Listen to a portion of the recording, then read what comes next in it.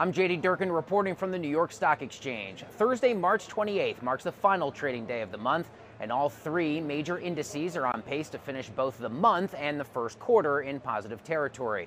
Many analysts here on Wall Street have recently boosted their 2024 price targets for the S&P 500.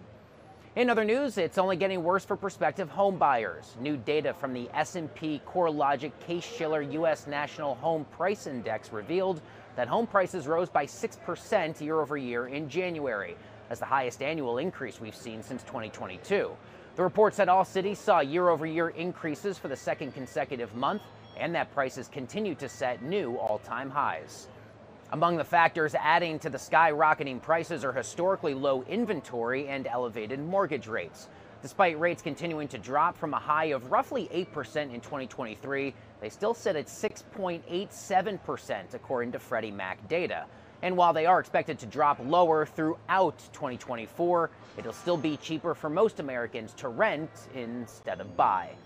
According to Realtor.com's most recent rental report, rent in the country's 50 largest cities is still cheaper than paying a mortgage.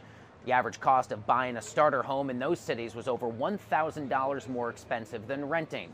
Austin, Seattle, Phoenix, San Francisco, and Los Angeles were the top five cities with the largest rent versus buy savings. That'll do it for your daily briefing from the trading floor of the New York Stock Exchange. I'm JD Durkin with The Street.